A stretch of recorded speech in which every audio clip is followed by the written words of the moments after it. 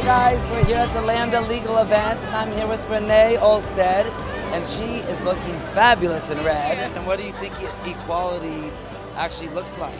I think equality looks like a world where we see people for the content of their character and not for their sexual identity, color, race, creed.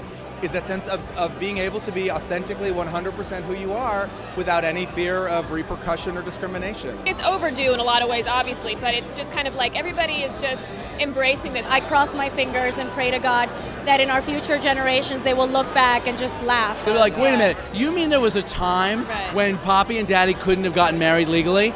That's correct. And we'll feel really old. I think things are changing dramatically, but we're not there yet. I'm going to mention it tonight, but whoever thought that they'd be you'd be able to get married in Utah? The door is now wide open. Yeah. And we just have to step through it. and we break barriers to clear the path for those amazing people who will come after us. And this is a collective movement. It's a collective issue.